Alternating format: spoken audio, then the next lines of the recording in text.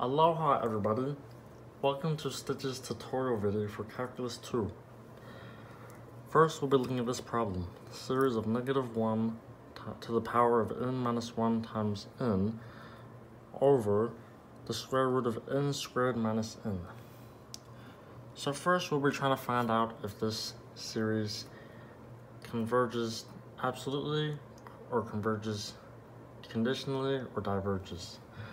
So first we want to consider if it converges absolutely. So we consider consider the series absolute form 1 minus 1 mm,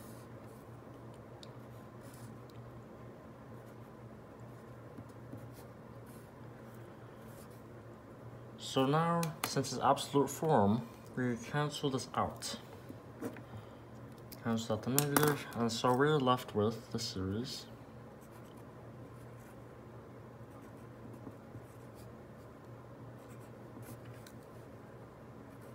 Root of n squared minus 1. So now we can look at a comparison test. So the first requirement for a comparison test is it must be positive. And so since we did the absolute value, then this would be n this would be positive for all our values since it was absolute valued. So now we can complete the comparison test.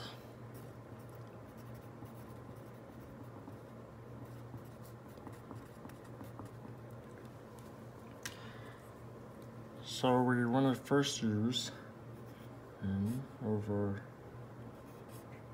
it's our original. And so first thing we want to do is look at the dominant n terms. And so we can get rid of the negative 1.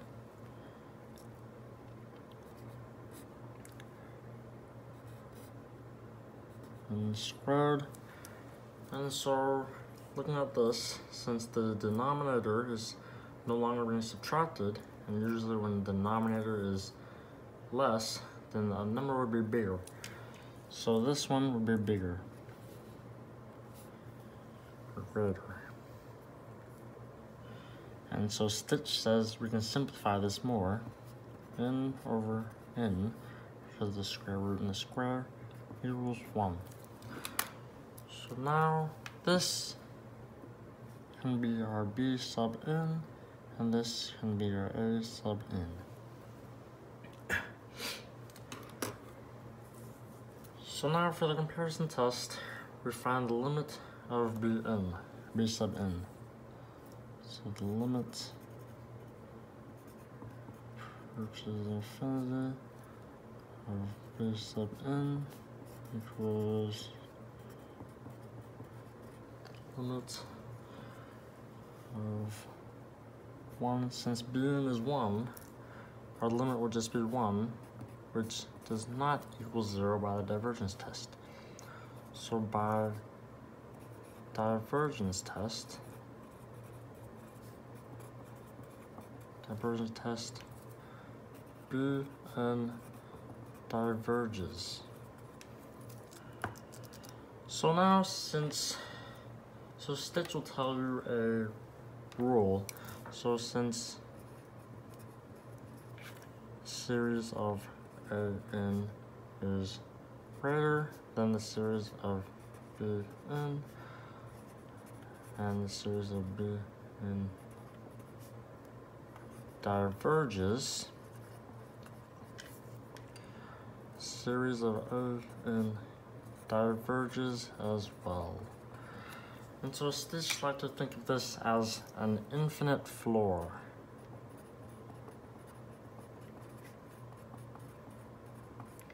Helps think about it. So, we can say that the original series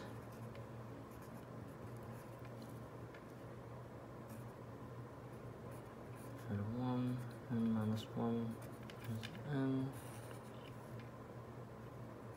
square root of n squared minus 1 does not converge absolutely.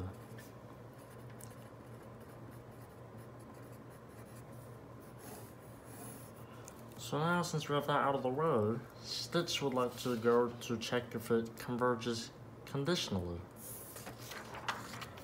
So now, we want to check if converges conditionally, and since we look at this, the original, negative 1 n minus 1 n over square root of n squared minus.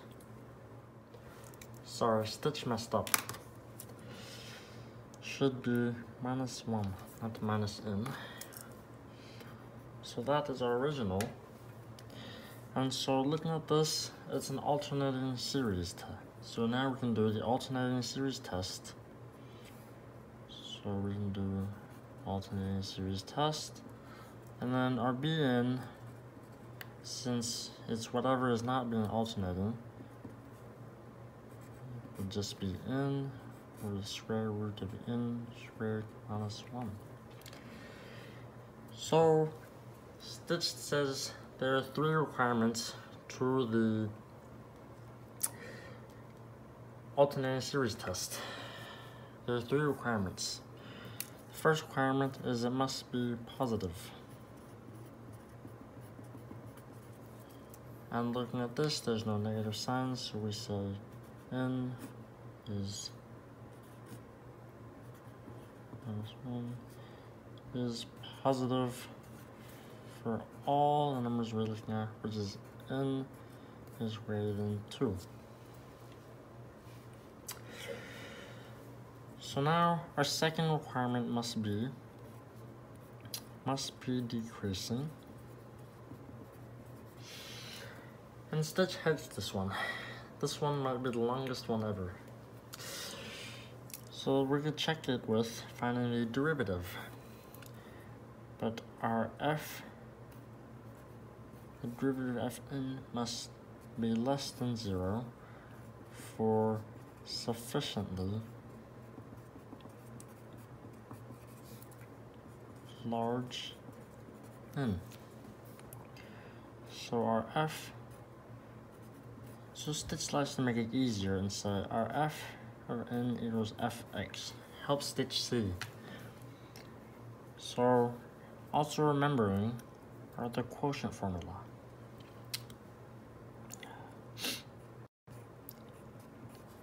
Which is that minus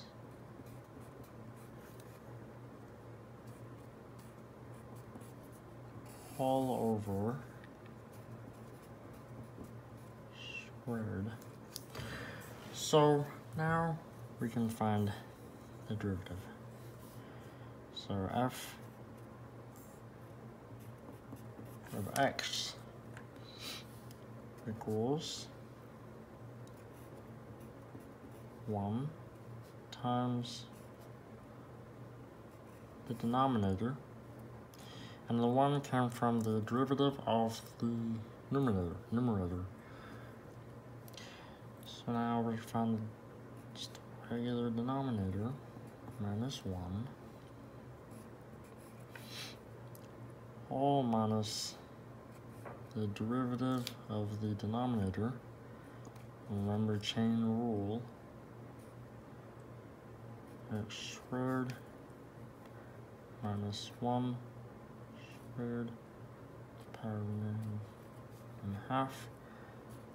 Chain rule 2x times our fx, our numerator all over our denominator squared.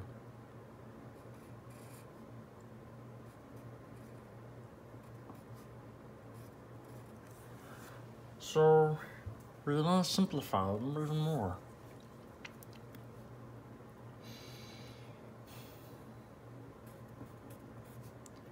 equals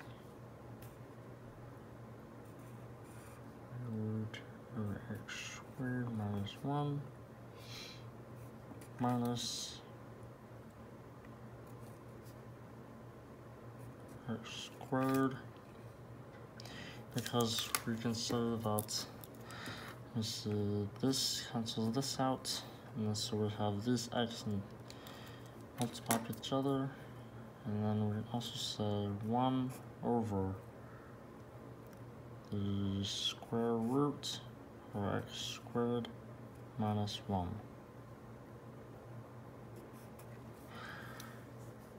all over and so the square root and the square cancel each other out to equal x squared minus 1 and so Stitch does not want this at the top. So he must simplify even further by multiplying the top and the bottom by x squared minus 1 over x squared minus 1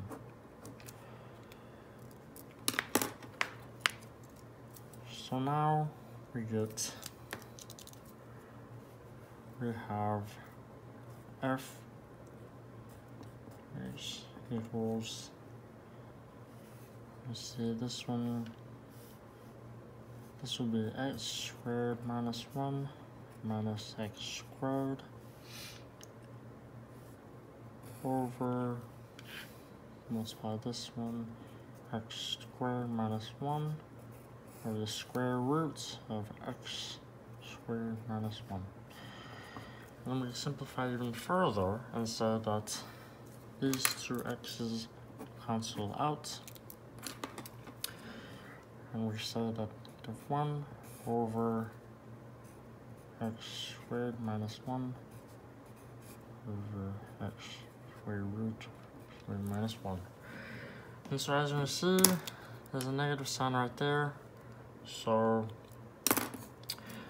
we can say since f x equals fn, we can say that f of n is less than zero for all the numbers we're looking at, which is n greater than two. So yes, it decreases, and we said over here, yes, it was positive. Now the very last requirement is to Alright, sorry about that. Stitch had a bit of technical difficulties. Uh, Stitch hit electronics. So the last requirement that must be met for the alternating series test is uh, the limit of b sub n must equal zero. And then so what we do is we do the limit of, let's say, it was square root of n square root minus 1. And so when we're looking at limits, we can say that um, we can ignore the negative 1 and look at the dominant n terms, which would be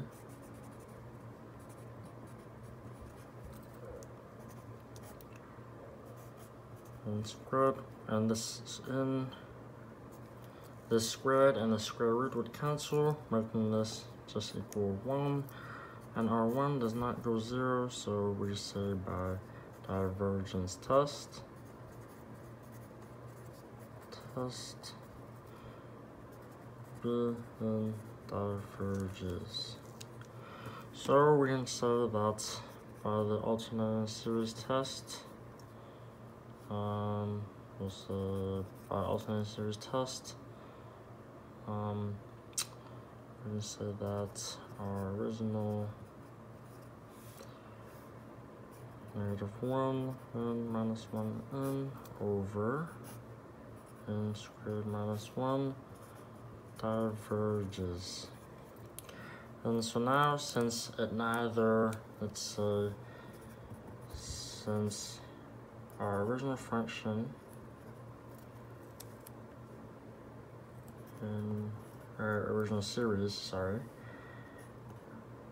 1 n minus 1 over n square root of n squared minus 1 does not converge absolute absolutely